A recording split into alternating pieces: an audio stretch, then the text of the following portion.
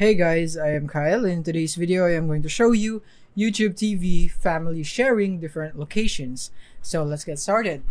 So here we are in YouTube TV and I'm currently logged in with my account. So if you're asking if it's possible if YouTube TV family sharing can go with different locations, then the answer there is yes. Because uh, family sharing does work in different locations, but there will be some limitation because YouTube TV uses your location to determine which channels you have access to. So it would depend on your region, on uh, which channels uh, will be shown to you.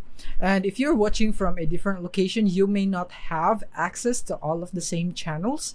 So you might want to take note of that. And family members must periodically use YouTube TV in your home location to maintain access. So you might want to take note of that. And then the next thing is if you want to set up your family sharing, then you can click here on your profile, the top right of your screen, click on settings right here.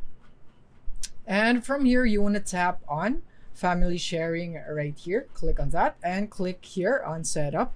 But as you can see since i only have the free trial right here it says sign up and i wouldn't be able to set up my family sharing. But if you have a plan then this is where you want to click here and you can proceed into inputting the emails of your family that you would want to uh, share to and now here are some things to keep in mind. You can add up to five family members to your account. All of them must be 13 years old or older, and they must live in the same household as you. Family members will have access to all of the channels and content that you have access to, and they will be able to watch YouTube TV on up to three devices at a time. So that is basically it for this video. Thank you for watching.